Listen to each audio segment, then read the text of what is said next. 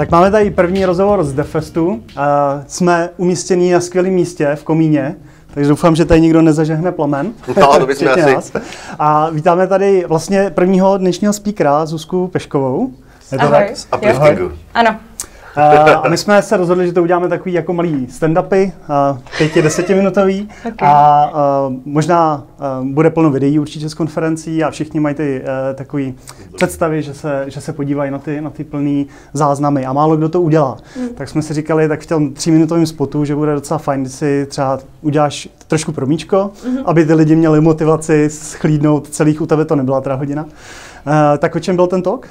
Uh, No, talk byl o tom, co vlastně se všechno změnilo uh, ve vnímání uh, komunit a eventů v upliftingu od loňského roku.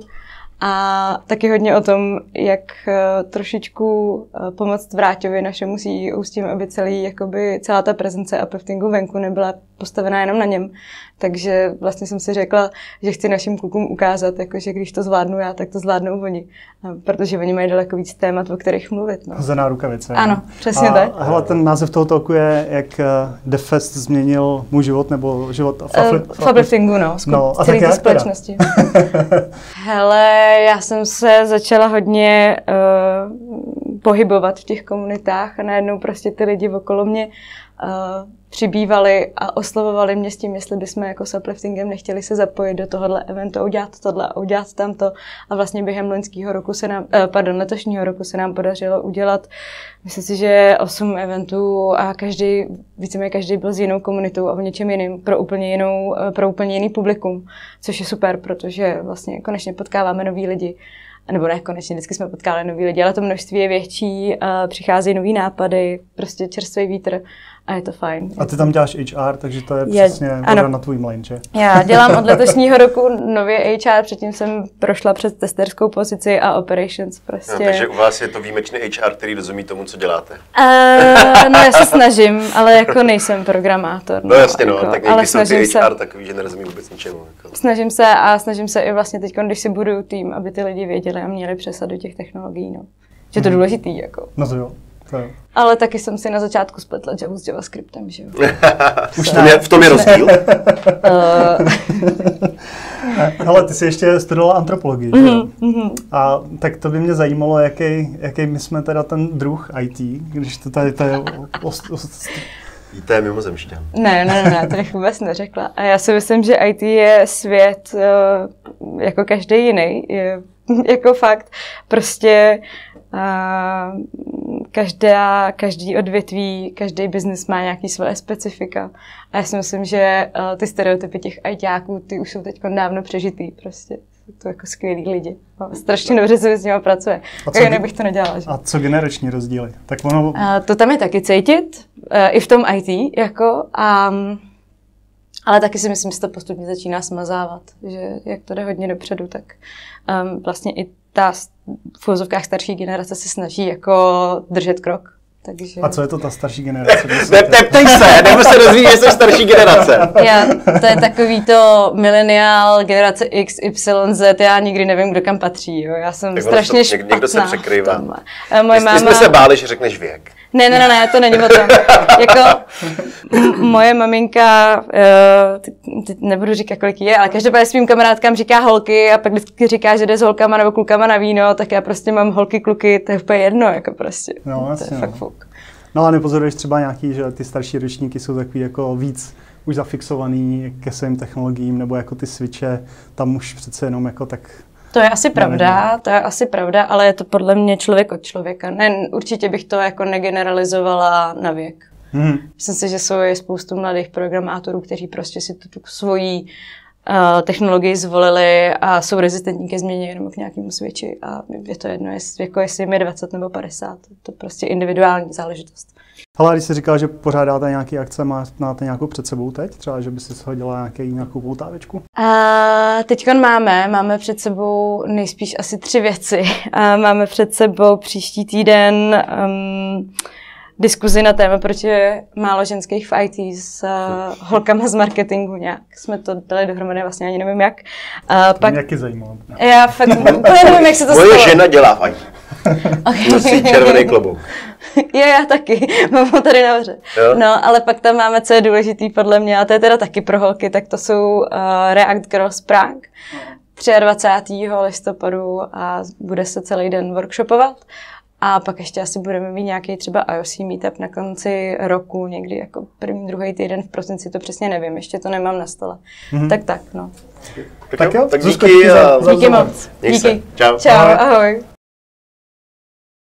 Máme tady dalšího hosta, Petra Kotase, který nám tady přednášel o cloudu a jak mu rozumět. Eh, pověz nám, o čem byla tvoje přednáška. Moje přednáška byla o tom, jakým způsobem já jsem se naučil chápat eh, fungování cloudu, jak skládat aplikace, když mají běžet v cloudu a třeba i o tom, jak se, jak, na co si dát pozor, když nechcete utratit hodně peněz. Měl jsem na to jenom 30 minut, takže se to nedalo obsáhnout úplně do hloubky, ale doufám, že ty základní myšlenky jsem předal. Já vím, že jedna z docela problematických je to ty ceny, eh, jako ty analýzy. Jaký s tím máš zkušenosti? No, analýzy toho, co, co mi kolik stojí? No moje zkušenost je taková, že když jsme, když jsme my dělali vlastní startup, tak naštěstí nás to, nás to nestálo moc, ale za noc nám přišel, za jednu noc nám přišel účet 100 dolarů, něco mezi kom 100 dolarů, nepamatuji to přesně, jenom protože jsme přidali load balancer a zapomněli jsme na to. to bylo nějaký, jo, hodně lidí, no. To je jako problematický a je třeba nějaké zkušenosti s přechodem mezi různými jako, jako cloud cloudově nezávislý, to znamená mezi poskytovateli a různýma? Na tohle mám svůj názor a sice, že žádný multi-cloud a přecházení mezi cloudy neexistuje. Vyber si, pro koho to uděláš a uděláš to dobře a smíř se s tím, že jsi zamčený pro ten cloud. Protože když to uděláš dobře, tak pak tě ten přechod bude vždycky něco stát, ale nebude to drahý. Ono, zá, ono záleží na tom, jak tu aplikaci uděláš. Když uděláš svoji aplikaci tak, že business logiku zapouzdříš do vnitřku a šaháš na ní jenom rozhraním ke cloudu, tak pak vyměníš rozhraní a neměníš business logiku. A pak to vyjde levněji. Ale univerzální napsat to pro všechny cloudy neexistuje. Hmm, a máš nějaké zkušenosti třeba jako s function as a service, Lambdy nebo něco podobného?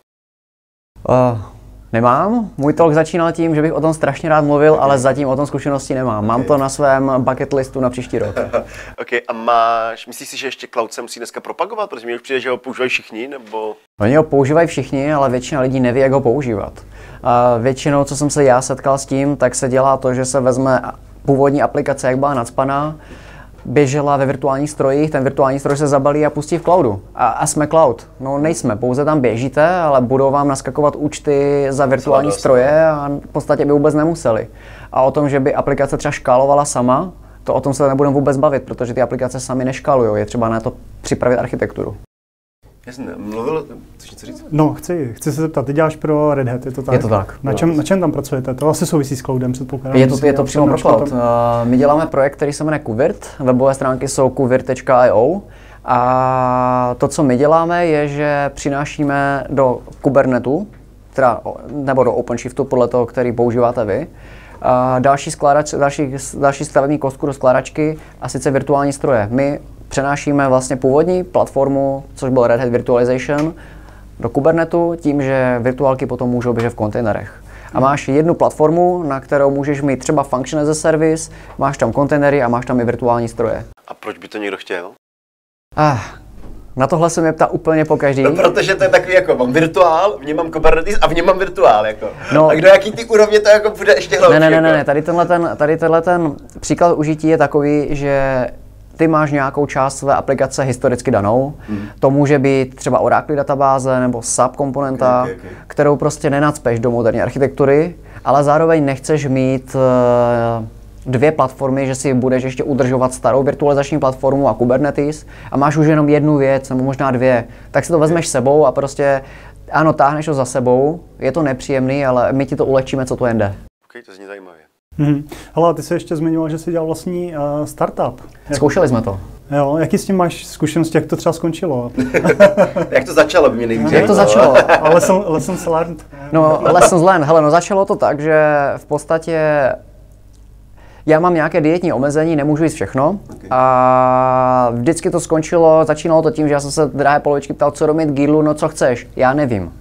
No a tak jsme si řekli, fajn, ale tohle přece nějakým způsobem si ulehčíme. Tak jsme začali vymýšlet, že pro lidi s omezením, jako je třeba je laktóza, nebo třeba i zánětlivé onemocnění trávicího traktu, což je můj případ, eh, budeme skládat jídelníčky.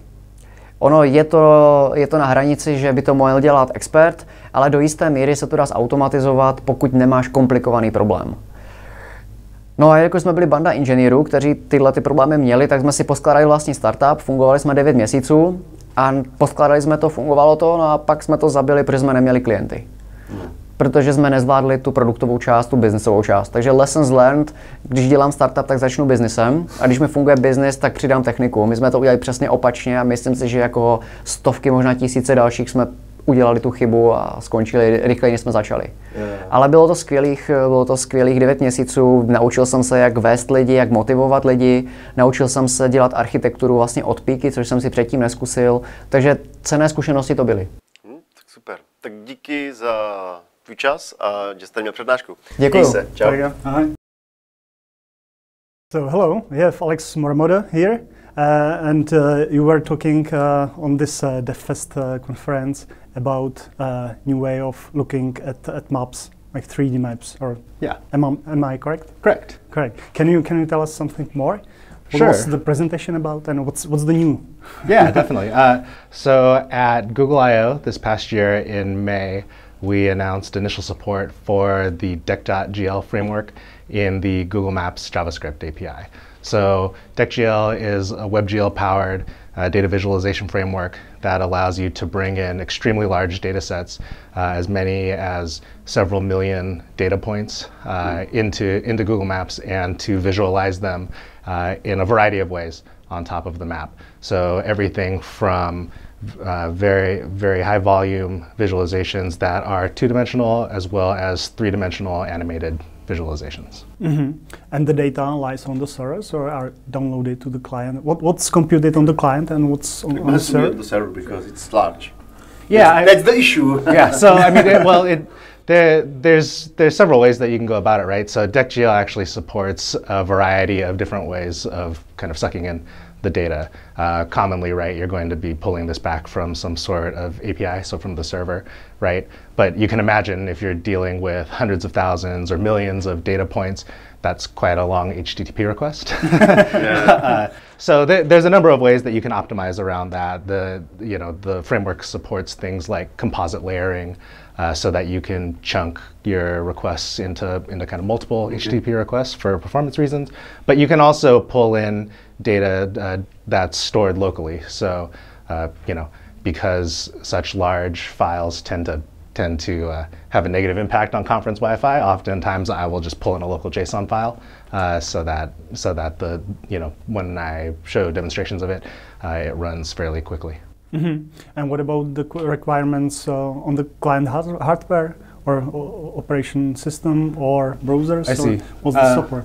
So the, so the main the main requirement is that the browser has to support WebGL because WebGL is how is how DeckGL uh, actually does all of the processing and rendering of the of the data sets uh, in order to render the visualization. So if uh, if the if WebGL isn't supported, then okay. yeah, it won't work. But the Chrome, uh, Firefox does oh, support. yeah, all of the major browsers support. Yeah, and about the hardware, do I need a well, stronger graphic card to to compute this, or Intel in, uh, Intel uh, graphics? chips on, on no, desk are? I mean, no, nothing. You, any any sort of like reasonable modern GPU should support it just fine. Mm-hmm. Uh, most most people w- won't have any kind of issue with it. Mm-hmm. Do you have some uh, real life usage of, of those maps already?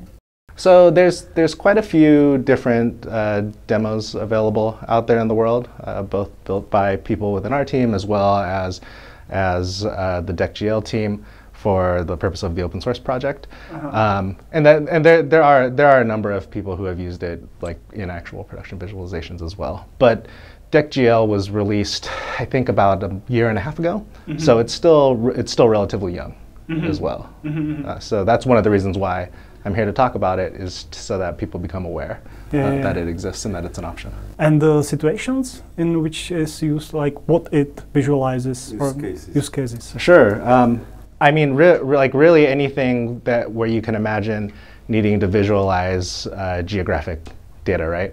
So some of the some of the things that uh, I, that I show, for example, are I have an example that shows uh, an aggregation of of active businesses in Los Angeles, California, uh, and those those are visualized uh, at, on top of the map as essentially as essentially like a three-dimensional bar chart using using a built-in layer in DeckGL that's called that's called the hexagon layer. Uh, so what it does is it takes data points, it aggregates them into sets, and then and then visualizes the relative the relative concentration of those data of those data points in as uh, uh, you know as three-dimensional uh, bars on top of the map. So it's, it's interesting, right? Because when you when you look at geographic data in this way, uh, when you're actually able to visualize it on top of the map inside of the context uh, of the world, right, that it's based in, you you really get new new like new interesting insights into the data that you just couldn't possibly. It, it's literally impossible for for us as humans to kind of mentally parse uh, that that data on our own, right? Even if even if we have some understanding of how the data points, things like latitude and longitude, work and where those might be positioned in the world, when you're dealing with with geodata, you're often dealing with you know at a minimum probably tens of thousands of data points. So in order to like mentally aggregate those in your head is is just not possible. You really need something like this. Mm-hmm.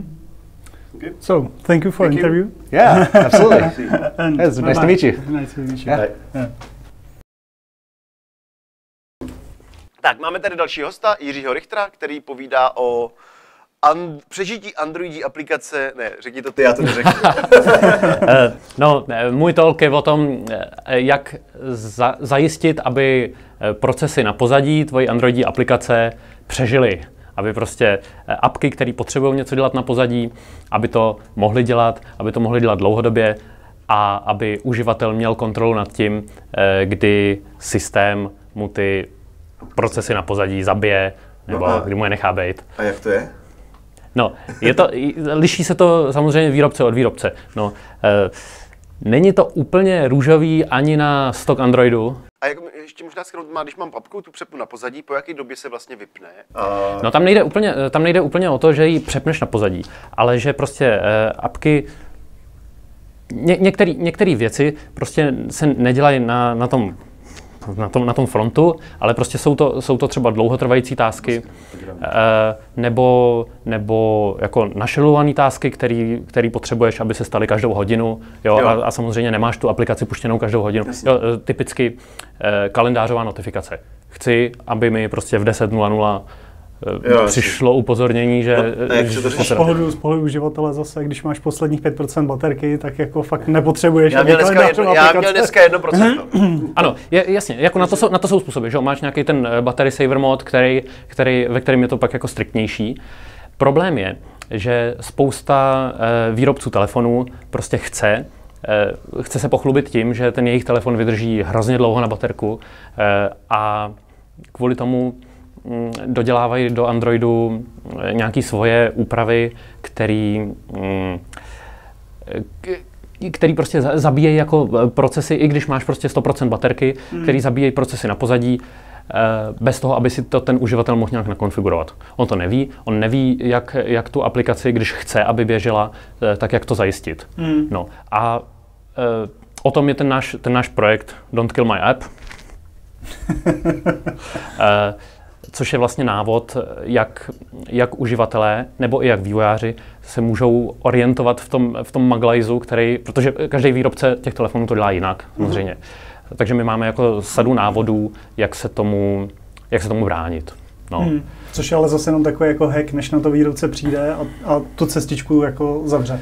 No, jako oni to, eh, samozřejmě cesta do pekla je dlážděná dobrými úmysly. Jo. Oni to dělají prostě z nějakých, eh, z nějakých eh, pohnutek, který který jsou třeba pochopitelný a oni si neuvědomují, že ty uživatelé jako ten systém vlastně používají jinak, jo, hmm, než, hmm. než oni chtějí. Oni chtějí prostě šetřit baterku, oni chtějí, eh, aby, aby jako ten Samozřejmě chtějí, aby, eh, chtějí uspokojit toho uživatele, jo? takže tam jsou nějaké defaulty a bla, bla ale um, ale vlastně k tomu nemají žádnou dokumentaci. To je, hmm. to je jakoby jádro toho problému. No. Jasně. A jak, se, jako, jaký jsou tři triky, můžeš třeba nějaký zmínit jeden z nich, jako jak se to řeší? No, jako... Abych měl představu, jako. Hele, některý, některý výrobci jsou, jsou horší v tom a prostě jedou, jedou na dřeň a nedají ti žádné možnosti. Musíš prostě uh, natvrdo ADB uninstall uh, tuhletu, tuhletu apku. Jiný, uh, máš třeba jako nastavení, který je čtyři úrovně někde schovaný, Yeah, okay. a ten uživatel vlastně neví, co, a, a, a je pojmenovaný nějak jako krypticky a ten uživatel vlastně neví, co to dělá. Takže je to vlastně jenom návod, že zobrazíte uživateli ten návod, aby se to mohl nastavit. Přesně tak. Jako to, je, to, je to věc, kterou si doteď, nebo ten projekt už běží rok, jo, ale doteď si to dělal každý vývojář sám, protože prostě, nevím, Slack je jeden z uživatelů té mm-hmm. naší stránky, eh, tak mm, ty mají prostě, nebo měli svoje FAQ, kde mají napsaný prostě pro tenhle telefon, když vám nechodí notifikace, udělejte tohle, pro tenhle telefon, udělejte tohle. A, a my to vlastně jako centralizujeme. Mm-hmm. Uh, my, jsme, my jsme k tomu získali docela dobrý press coverage, byli jsme na Android Police, Android Authority, Android Central, prostě na, na velkých, na velkých uh, Androidích tech serverech a dokonce jsme nedávno zjistili, že i Google používá ten náš web uh, pro proto aby vlastně věděli, co ty, vývoj, co ty, co ty výrobci telefonů dělají. Jo? Vlastně mm-hmm. jako na monitorování fragmentace tý, toho, to, A Google, platformy. Google nemá nějakou jako šanci, jak to vynutit, když jako poskytuje v podstatě operační systém, tak jako, aby to standardizoval podobně, jak, se, jak to, to soprávnění má. Ano, to je, to je náš cíl. Jo? Třeba my jsme, my jsme odhalili, že, že Nokia dělá tohle na Android One telefonech. Jo? Oni tam, eh, Android One je jako čist, projekt, kde, kde máš prostě mít čistý Android na telefonu. Jo? Hmm. Takže Nokia má prostě některý Android One telefony, kde je čistý Android a nesmí dělat žádné modifikace toho systému. Ale oni udělali to, že, eh, že tam jako doinstalovali aplikaci, systémovou aplikaci, to, to, to nekontrolují eh, v tom Android One programu a ta systémová aplikace zabíjí ty procesy na pozadí. Jo, ona má velké oprávnění. Není to vyloženě součást systému, ale je to systémová aplikace. A my jsme to odhalili a díky nám vlastně jako uh, Google, Google na to přišel, Diane Hackborn prostě na ně zahulákala, že takhle teda ne. A a, a oni to museli změnit. A uživatelé jsou méně spokojení, protože jim vydrží baterky. Je to takový boj, jako no ne, tak ty, ty když, není řešení... když si to sám na, na, nastavíš, ano, tak, jde, jde, o to, aby si, nám jo. nejde o to, jako, eh, aby, aby prostě každá aplikace si mohla dělat, co chce. Jo? To, to není náš cíl. Náš cíl je, aby si to uživatel mohl nastavit, když to potřebuje. Tak tomuhle rozumím, tam je spíš takový to, že já chci si to nastavit a po většinu použiju výchozí nastavení, ale současně chci, aby mi to vydrželo dlouho. Že? Tak je to takový ten jako boj toho, toho, těch kombinací, že No, tak to si musíš vyřešit sám prostě. no, já pak vždycky nejdřív Co je pro to najít toho apku a pak to všechno zakazuju. jo. Já mám teda iOS, takže tam to je jinak. Stejně zakazuju. Do, do toho, tak, do, do, toho jako do iOSu nevidím, ale tam, tam ty background procesy prostě nejsou takový issue, no, tam nejsou vůbec. tam jediný background je přehrávání toho hudby. No, tam pokud vím, tam, tak tam apka může běžet, nevím, tři minuty maximálně po tom, co ji vypneš, tak si může ještě dodělat nějaký task, ale hmm. pak už nic. Mm-hmm. Tak jo, tak díky tak za rozhovor. Díky a Taky díky. Tak jo, měj se. Ahoj. Ahoj. Čau. Tak dalším hostem a přednášejícím na Defestu je uh, Simona Musilová. Uh, ahoj. Ahoj. Ty tady budeš povídat o svojí diplomce, si říkala? Ano, ano, je to moja diplomová práce. Uh, jmenuje se Aposemat a uh, řekni nám o tom víc. a Aposemat vlastně nie je názov tej diplomovej práce, je to skupina, ktorá vznikla na fakulte elektrotechnickej, čo je VUT, a ktorá sa zaoberá práve bezpečnosťou a IoT devices, čo sú teda ako chytré a zariadenia, ktoré máme doma. A v rámci tejto skupiny teda vznikla moja diplomová práca, ktorá sa zaoberá najmä a bezpečnosťou zariadení, ktoré používajú protokol nazývaný Telnet, ktorý je pomerne starý a všetci sme si mysleli, že už sa úplne nepoužíva, ale stále je veľmi využívaný práve kvôli tomu a práve kvôli tým IoT devices. No a vy na to jdete trošku specificky, co jsem, co jsem četl. Je to o, o tom, že, že tam máte nějaký honeypoty a pozorujete chování a na základě toho detekujete tak ty hrozby, je to tak? Mm-hmm, tak tiež. My sme totiž to začali a s tým, že sme schválne infikovali rôzne zariadenia a sledovali sme, čo ten malware robí. A v rámci našej práce sme si všimli, že je strašne veľa a, komunikácie práve na telnetovom protokole a telnetových portoch. A neexistoval na to žiaden systém, ktorý by nám rýchlo povedal, čo sa tam deje, aké mená a heslá sa ten malware snaží použiť a podobne. Takže sme si povedali, že a si vytvoríme vlastný telnetový analyzátor a trošku sa to medzičasom rozrástlo a dnes sme vlastne schopní a pridať extra vrstvu nejakej ochrany, dajme tomu, pre užívateľov v prípade, že vám niekto ukradne meno a heslo, tak na základe toho, ako píšete a čo píšete, vieme povedať, či ste to vy alebo nie. To je nějaký jako AI, že si to učí, nebo jak, jak to funguje uvnitř? Je v tom schovaná nejaká štatistika, presne tak, úplne AI to asi ešte nie je. A funguje to vlastne na pomerne jednoduchom porovnávaní toho, a, ako človek píše, čo znamená rôzne časy medzi jednotlivými klávesami napríklad a, a podobne. Aha. A proč nepoužíváte jako klasický síťový honeypoty? My vlastne nepotrebujeme úplne honeypoty. Ako my sme, my, mm, mm, zmysel toho projektu Aposemat bol práve akoby infikovať malware a zisťovať, čo ten malware Jo, robí. takže opačně. Miesto, jako, ano, jo, opačně, ano, jo, ano, že vy jste ano. analyzovali viry, nikoli. Ano, presne tak. Nikoliv. A z toho potom vycházíte na to zabezpečení. No a ta integrace teda spočívá v čem? Něco se do sítě připojí, nebo někde se něco nainstaluje? Presne tak, šlo by nainštalovať do nejakého zariadenia, ktorý je uprostred uh, niekde v sieti, napríklad do vašeho domáceho routeru. A tento náš nástroj, ktorý by potom vedel povedať, čo sa tam deje. A zároveň by vedel uh, poskytnúť nejaké štatistiky ohľadom toho, uh, ako moc je vaša sieť vlastne pod útokom iných, iných zariadení. A spolupracujete třeba s Turisem, nebo tak, když je to český projekt, tohle jsou taky... A oni mají ten, ten prostor tam tyhle ty věci doinstalovat. Na to mám- tam jsou v té síti, že jo? No práve, no. Na to máme zase iný projekt u nás uh, na ČVUT, na Fakulte elektrotechnickej, ktorý sa nazýva Ludus. Mám taký pocit. Mhm. No a v jaké fázi je to teď? Je to pořád ještě jako výzkumný projekt, nebo už se to dostává do nějaký produkční Je fáze? to, je to zatiaľ stále výskumný projekt, momentálne sme v štádiu a zbierania užívateľských dát a vlastne testujeme to už, už reálne a poriadne. Teraz práve možno v tomto momente a sa mi pripájajú užívateľia na môj server a skúšajú tam robiť, čo, čo im napadne. A malo by to byť vonku niekedy, no snáď začiatkom budúceho roku. No tak to by se ještě mohlo stihnout, než ten telnet úplně skončí, ne? Ne, to mě taky napadlo, ale já myslím, že to tak snadno nebude. Tam si myslím. Já myslím, že největší problém těch, jako těch domácích sítí je, že tam je vlastně hromady zařízení, které jsou vlastně v otevřené síti a není vyřešena jako autorizace v té domácí síti nějak, jako kdo má co. To prostě byla vlastně řešená a, a s tím ještě se bude jako leg- hodně legrace, no. Najlepšie na tých uh, IoT zariadeniach je to, že ľudia to chcú mať doma, pretože nám to zjednodušuje život. Povedzme si úprimne, ja mám tiež plný dom chytrých zariadení pripojených na internet, ale ľudia tomu úplne nerozumejú, čo No. sa v tej sieti deje a to je ten problém, ktorý tam my vlastne Já vidíme. jsem s kamarádem porovnávali počet IP adres. Kolik máš doma přidělených IP adres? Verejných nebo Na interních, samozřejmě veřejných máš nějakých člověk. interných? No, iba... Iba 40. No, asi tak, no. Keď si, keď si spočítam iba tie zariadenia, ktoré mám teraz tu so sebou, tak eh, z tej wi ktorú tu máme, tak ja sama mám 3 alebo 4 IP adresy. Takže... Ano. A to som sem prišla s jedným baťahom. Jo. No já myslím, že tenhle ten problém bude ještě hodně zajímavý, no. Určite áno. Ta bezpečnost doma. Je Tak to jo. řeší, no. Okay. Tak zveme na Díky. přednášku. Díky za, za interview. Ďakujem. Čau. Mluvíme s Jirkou a Filipem, eh, organizátory Defestu a budeme vyspovídat. Tak, povězte nám, co je Defest. Hele, Defest je strašně mně blízká, obrovská věc pro mě každý rok. Eh, Je to o tom, že se sejdou prostě ty vývojáři a ty lidi, ty gíci, kteří, který zajímá vývoj eh, jak tady v Česku, tak i ve světě, protože tu máme nejenom české, ale i zahraniční speakery a chceme sem prostě natáhnout co nejvíce lidí, protože z toho neděláme jenom konferenci, děláme z toho i festival zároveň. Aby tu lidi, kteří prostě přijdou na tu konferenci, tak aby jenom nemuseli stát a sedět a poslouchat přednášky, ale zároveň mohli něco zažít. Což je pro, pro podle nás je to obrovská, obrovská část toho Defestu.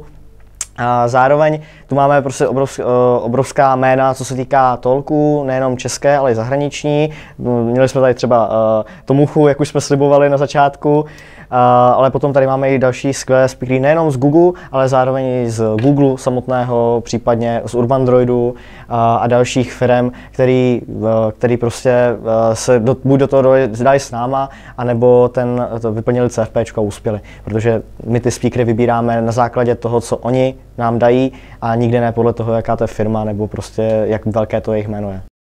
Ale vy to máte letos v angličtině celý, nebo jenom částečně? Uh, nikoliv, máme to jak v češtině, tak i v angličtině, s tím, že v angličtině, v angličtině je větší část těch přednášek, s tím, že tady máme, myslím, tři nebo čtyři české přednášky, protože samozřejmě s tím, že jsme jako, teď už trošku by se dalo říci, světová v Česku konference, tak ale stejně nechceme zapomenout na to, že tu máme i lidi, kteří, kteří eh, si poslechnou rádi tu českou přednášku, protože co, co si budeme povídat, pokud Čech začne mluvit anglicky, nějaké věci, tak se občas může něco myhnout mimo, takže, takže proto tady máme i české přednášky. Jak jste spokojení s tím, jak se to dneska odvíjí?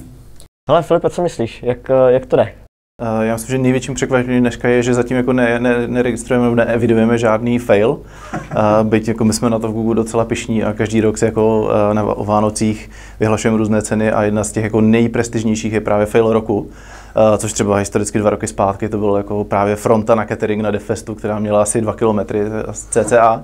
Uh, takže zatím se všechno daří a já myslím, že to jako není úplně náhoda, ale to, že prostě ten tým na tom, ten Dream Team na tom pracuje fakt jako rok, a rok chystáte věci do nejmenších detailů a potom prostě ten prostor na ty faily úplně není. Jasně, Takže zatím jako velká Letos teda je úplně skvěle zvolená, ta venue. Tady je Jo, to prostě krásný, krásný. prostory. Jako komíně.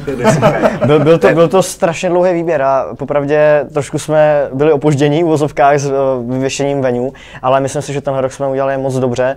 Uh, určitě se vám tady líbí, ale co máme je pozitivní feedback, takže i návštěvníkům se tady líbí. Je to možná trošku crowded, ale zase na druhou stranu to není tak prázdné, třeba jako minulý rok. Ale mně to nepřipadá úplně Ne, crowded, to nepřijde. Ale mě teda, co mě, co mě překvapilo, je teda fungující tým. To je fakt, jako, Děkujeme. my jsme byli jak v bavlnce jsme tady. ráno jsme měli nějaký problém, že jako něco bylo jinak, než jsme jako, protože se to včera ještě změnilo.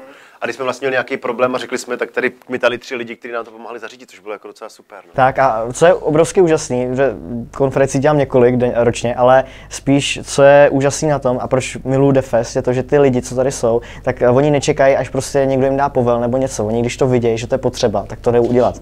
A je to strašně luxusní a ten tým prostě takhle funguje perfektně spolu. Mě ještě překvapila docela jedna věc a to je, že tady je docela dost holek. Někdo říkal, že tady je snad třetina, kolik je tady procentuálně holek? Uh, procentuálně přesně nevíme, protože samozřejmě ještě nevíme, kdo přijde uh, dneska, ale, uh, ale něco to tak může, může odpovídat. No. Což je docela jako pozitivní, že v tom IT to konečně se začíná měnit. A Ale ono zase jako snažíme se tomu být jako napřed, ať už jako historicky na akcích, prostě třeba jako zvýhodněnější vstup, anebo zázemí školky, kterou tady máme, prostě co se budeme říkat jako ty děti, kdo už ty děti máme, tak víme, že je to někdy jako těžší je někam umístit, takže můžu vzít sebou a prostě kdybych si jako zašel na dvě přednášky a ty děti mezi tím jsou tady někde se o ně někdo postará profit, tak to je. Takže To vlastně tady máme nahoře školku profesionální, která se prostě o ty děcka postará, takže mamky můžou děcka nechat eh, si hrajou bazénku plný kuliček a prostě koukat na přednášku nebo se bavit. Kolik se vám takhle sejde těch papers nebo návrhů přednášek a hlavně jak potom balancujete, protože jsou tady i jakoby UXové věci, že jo, takový i software, jako řízení týmů, agile záležitost, pak i to mucha s dartem, hardcore To, toho nemůžeme odmítnout. jak, jak, děláte ten mix, jako, nebo jak to vyvažujete? Uh, Napsali jsme na tom na médiu, uh, jsme napsali blog, vloženě uh, článek velký, naše kolegyně Eliška Čepová napsala o tom strašně, strašně rozsáhlý, podle mě, ten workflow, jak to děláme, že tam máme prostě nějaké ty tři typy hodnocení a to potom dáváme dohromady, protože těch CFPček se nám sejde ročně, bych řekl, tak něco nad stovku. Hmm, myslím, že to bývá jako 100-150 No. přihlášených přednášek. Takže z toho vybírat, eh, prostě prakticky celý organizační tým se podílí na tom, že ohodnotí ty tolky za sebe, co si myslí a ten součet prostě uděláme. A, a Když zatím, by vám prostě vyšly jako, že nejlepší tolky zrovna ten rok vyšly jako technický, tak to bude celý technický, anebo máte kritérium, že prostě by měl být zhruba takovýhle je, poměr. je to a- podle situace, je to podle situace, samozřejmě většinou se snažíme uh, to nějak namíchat, protože, jak už jsme říkali, je to nejen o konferenci, ale i o tom festivalu, jo? že tu máme i lidi, kteří tomu moc jako nerozumí, třeba ty vývojářštině, ale baví je Defest, protože je tu prostě skvělá uh, celokonferenční hra, kterou můžou hrát a můžou vyhrát strašně hezké ceny.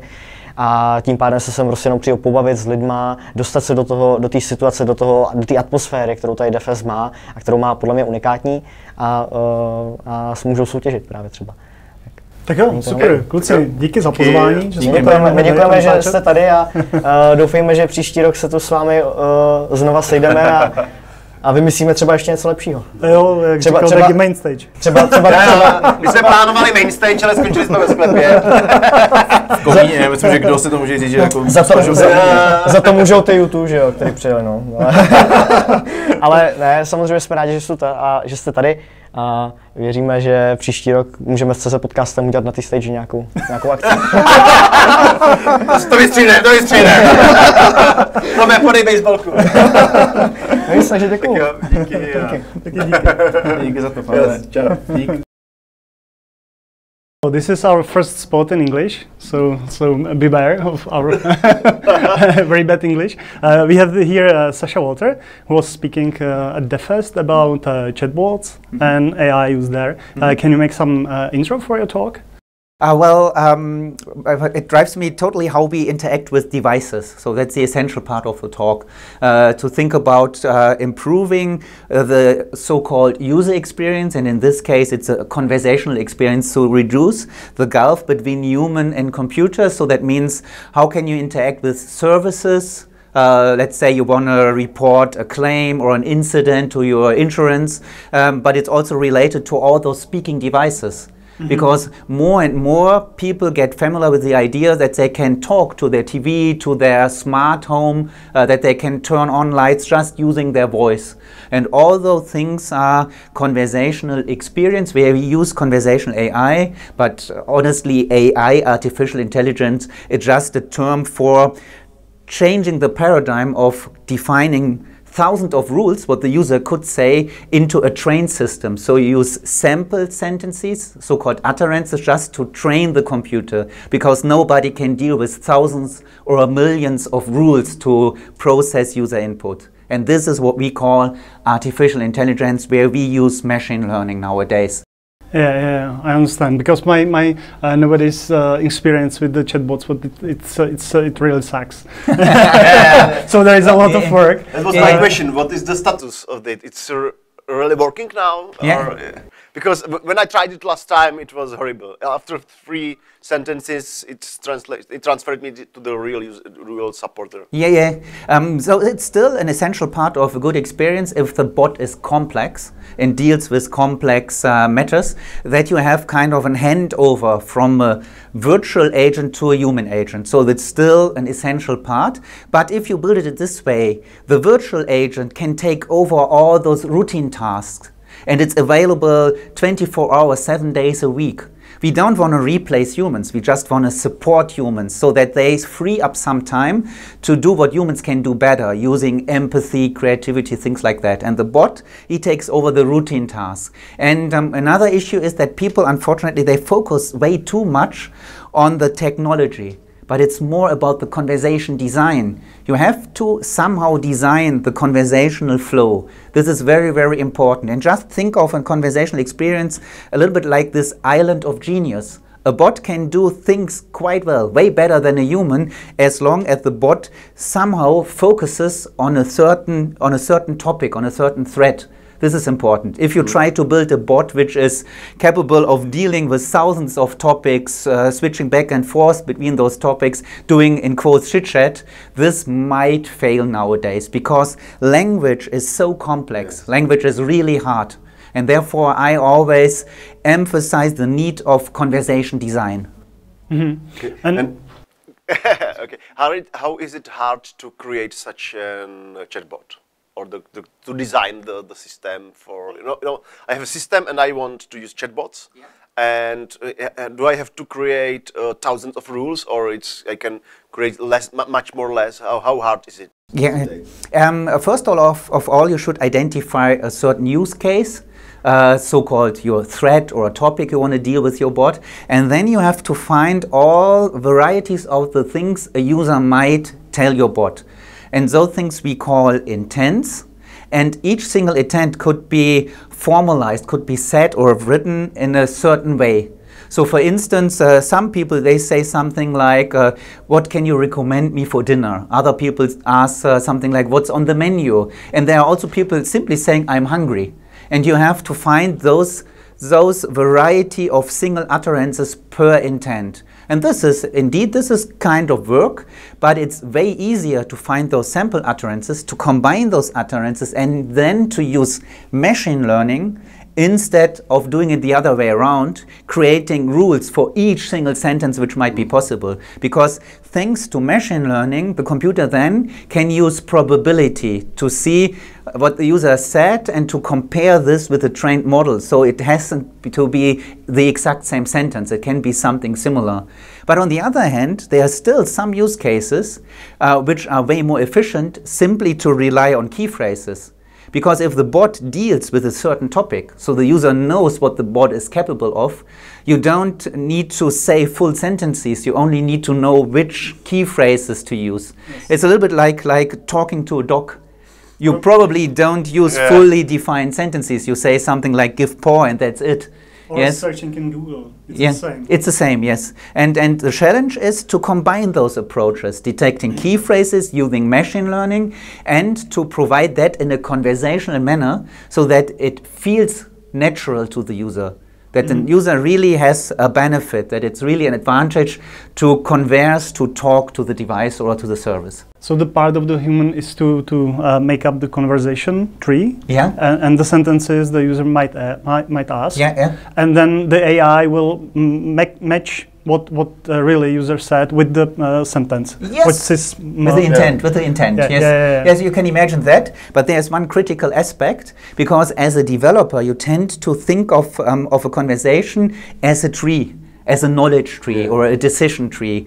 And indeed, there are use cases where this is very efficient, but uh, in reality, conversation does not work in this metaphor. Our mental model is a tree, unfortunately. It's stateful. But in a conversation, I can change the topic, uh, whatever, I, I can say whatever I want uh, every time. And, and as a human, you won't say something like, oh, sorry, at this moment I can't understand that. You have to say yes or no. You won't say that. You can deal with this. And this is also an aspect of conversation design. Build a bot in this manner that it is still natural, even if you have this decision tree in mind. Okay. And uh, how your AI is trained by the real users in the real conversations, or there is some uh, test sample, or Yeah. because because the the AI can. Uh, degrade by, by learning from real life Yes. sometimes. There, there, are, there, there are a lot of, um, in quote, scientific uh, approaches going on right now. Uh, common sense is more or less to pre-build this AI, this machine learned models, and then to see uh, during usage uh, how users really interact with your with your service, and then to in an editorial process, then to improve it in a editorial way. This is this is common sense because this really works well. Um, you can use self-learning systems, but this is always risky. Yeah, Yes, can, it's- it's, can uh, become racist or Yes, yes, you know those samples. yeah. Uh, uh, where can we s- see results of your work? Because I want to try what is possible in the in the world of chatbots today. Because those I, I tried, they were horrible. Yeah. Do you have some chatbot that's good? Uh, I personally like uh, bots which focus on a third, uh, on a certain topic. Um, so just to explain that, there are some some experience which cover overall recipes for, for cooking. Yes, uh, so those bots usually fail due to the complexity. But if you build a bot which, for instance, focuses on cocktails, this is something which works quite well because and, it's and do you know one of them? uh, well, there are plenty of those, uh, but my, my favorite one so far is something we did um, for um, a company called Henkel. Uh, they're doing uh, washing powder, things like that. And we have a bot where you can ask how to remove stains from your um, from your fabric. So you can ask something like, uh, "Oh, I have blood on my jeans." And this bot is quite successful and helps you, guides you through the through the process of cleaning your clothes. And where can we find it? On Henkel.com or some, Uh, somewhere well, there's a, there's a German version, um, persil.de, and there's all the one in the US and English version. And uh, we are building currently versions in several languages. Unfortunately, not Czech so far. Um, I think but- English is okay and yeah, German. But I too. think I'm well. I, well, I, I don't know if I can tell you, but um, one of your neighbor countries, uh, we are supporting this language already, and this will be released soon. Yeah, Okay. okay, okay. So thank you for interview. Okay, Okay. thank you, Bye. thank you, Bye. thank you for having me. Tak uh, jako dalšího hosta tady máme uh, Tomáše Zvěřinu, uh, který dneska na Defestu vychá, vy, vyprávěl o Microsoft Office Business Seru 2005, že jo? E, jo, jo, jo, o tom SharePoint to teďka hodně frčí. ne, určitě bylo zase Flutter Dart, že? Bylo to. Co to hlavně hodně dart, hodně dart, eh, málo Flutteru, takový typy, triky, takové věci, které mě nikdo neřekl a býval bych asi byl rád, kdyby mi je někdo jako takhle na mě nasypal, i když nevím, jestli jsem to přátelé přepálil přece. Já jsem jen takhle vyklopil na ně nůši prostě jako mouder a na konci byli trošku takový jako je tý, no. No uvidíme. takže, Uvidíme. takže pro koho ten talk je, až, až budou lidi hledat eh, video na tak, internetu, eh, tak Jako není to pro úplného začátečníka, ale pokud už jsi se Hello World jako udělal a už si začal tam přidávat vlastní tlačítko, ať už máš dvě tlačítka a možná i input, že jo, jako, tak teď možná už je čas, aby jako se teda nechal vtáhnout do těch dalších věcí, které jsou užitečné a nenajdeš je právě v těch Hello World tutoriálech, protože jsou zase jako, ale, víš, škoda, že tady není Filmon, ten si zrovna říkal, že si s Flutterem hraje, já z toho úplně nadšený, no. Jak velká komunita Flutteristů tady asi tak v Čechách je? No, překvapivě velká vlastně. jakou jí to máš udělat, taková je- jednotkách kusů, jako. ale překvapivě velká, že třeba teď nahoře jsem potkal to, Filip Procházka, že používá nějakou můj knihovnu, jako to jsem nečekal, že tam prostě mám vystavenou package a normálně to má uživatele, chápete to jako, a minimálně jednoho, jako kromě mě. Úžasný, ale jsem se nastěhovali eh, dvě nějaký větší firmy, obě snad z Ruska původem, ale ty jedou v Dartu a Flutteru a hajrujou tady a... Takže se dá sehnat jako job. Jsem tady- tady překvapený. No určitě se dá sehnat job, jako pokud jsi dartista s nějakýma zkušenostmi, tak se dá sehnat jako královský job teda. Jako dobrý. Sháníš job? Já ještě jsem nenapsal ani ten Hello World. No, Hele, co tam teda zaznělo za typy, jenom tak jako velmi ve zkratce. nějaký No tak jako, jak funguje třeba nějaká právě typ, jak funguje přetypování, jako, protože on dělá nějaký automatický, implicitní přetypování, který může být třeba pro javistu zrovna jako dost matoucí, když, když třeba máš ty generické kolekce různý v Javě. Tak je to hrozně sešněrovaný, nemůžeš udělat nic nikam, co není přesně, prostě si na sebe nesedne. Ale to je úplně boží. A tady právě k tomu přistupuji Úplně nesouhlasil. Tady k tomu přistupuji jako velice optimistický. Tady ten objekt, to bychom mohli sem dát, on to asi bude dobrý. Jako, tak jakože to by mohlo jako překvapit. Pak jsem mluvil o futures, jak se s tím pracuje, když jich máš víc a chceš počkat na všechny, mm-hmm. nevím, co všechno, jak nezvorat async, jako jak A jaký je rozdíl mezi future a promise? nebo něco. My tomu říkáme future a vy Jinak tomu to říkáte samý, promise. OK. To bude podle mě to tež. No. Okay. Jak musím říct, že to byla jedna z věcí, která mi trvala chvilku, než mi došla. Skvělou package, to musím, můžu si udělat, jo? No Skvělou jasně. package, No, no, no. prosím nás, i69N, jo? Není to jako i18N, to je prostě... To je hodně dlouhý slovo, co? i69N je uh, package na internacionalizaci daleko lepší než i18N. Tak... Uh, Proč 69, jenom tak. Ten je oblíbená poloha. Jako žena tvrdí, že jsem dětinský. A Filip Hráček se mi směje, že s tímhle názvem to nikdo nebude používat. Je, a, a ty se vy, vy, vy to vyvedl z omylu, protože už to jeden používá. to jsem zjistil až dnes. Jako, no. Ale vyvedl, Tak, vyvedl z omylu. To je s- zrovna skvělá package na internacionalizaci. To není baked in? No tady je, ale overinženýrovaný to je hrozně takový přesložitý a používá to nějaký tam Google něco, je samozřejmě Google, že to je. Ale tohle zrovna jako nepovedlo, tak to jsem si napsal něco jiného vlastního. Jo. Jak zněla otázka? Co je, ve zkratce, jaký typy si dával? Jo, jako to je hodně high level. To je tohle. No už ani nevím, jako. Bylo toho, bylo toho moc zim. Dobře. No tak jo, no tak to je, to je intro do, do toho talku tvýho, tak uh, všem začínajícím flatristům určitě doporučuji. No pokud jako mají za sebou ten uh, Hello Hello World. Někudy se pokračovat musí a tohle jsou takový různý, jak zapnout linter prostě, jako, což tam ví, proč je vypnutý defaultně, já nevím co. Různý takový typy, které jsou Jsme užitečné. měli ještě rozhovor, jaký používáš editor? IDčko. I, používám ideu, no, proto jsem teďka upgradenul na těch 32 Giga.